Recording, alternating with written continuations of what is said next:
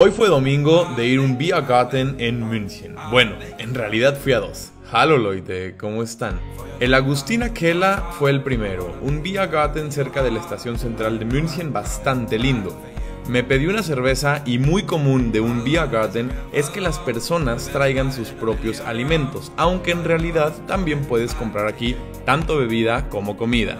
Eso sí, la bebida debes de comprarla en el lugar, esa no puedes traerla de fuera, muy importante. Estuvimos como dos o tres horas aquí y luego nos fuimos a otro Via Garden, que más bien era como un evento latino en donde todo el mundo estuvo bailando.